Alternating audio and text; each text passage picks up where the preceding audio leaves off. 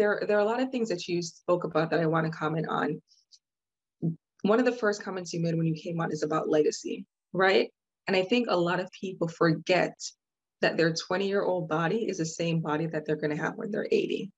It may not look the same, but it's the same body. So we do all these things to our body, whether it's putting a ton of sugar or just eating terribly or not getting enough sleep, not realizing or remembering it's the same body that you're going to have when you're 80. You don't get a new body when you're 50. You don't get a new body when you're 70. So we need to take care of this temple that we received.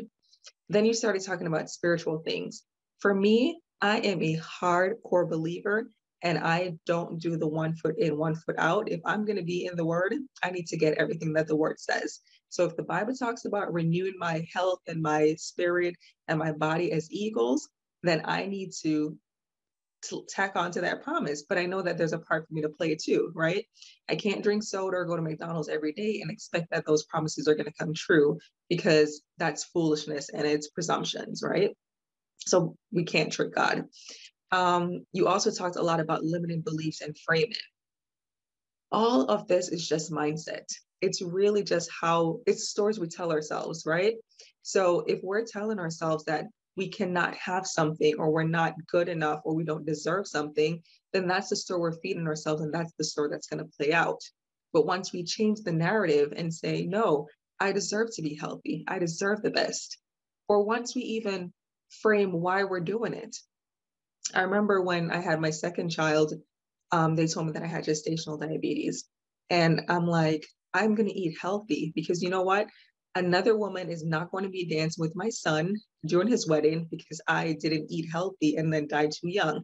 I'm going to be the one dancing with my son during the mother son dance, right? So, even something thinking about what it is that I want for my future, thinking about I want to be able to run after my kids and not be out of breath. I want to be able to go up the stairs and not be panting like I just did a marathon. So even these small things, these small shifts in our mental state will help us and just reframing the story. And I truly do believe that age is a number because I've met women who are older than I am chronologically, and they are so fit, they're so young mentally, they're so light spirited. Please go ahead. Makes sense. And I think one of the things we do is we're the ones who put limitations on ourselves. If you think about children, the reason they don't have a lot of fear, like they'll go on the roller coaster, they'll jump off things, it's not because they're they're foolish, it's because they don't have the same level of learned fear that we got over, you know, time or environment or, or, or experience. I'll even give you a, a quick story.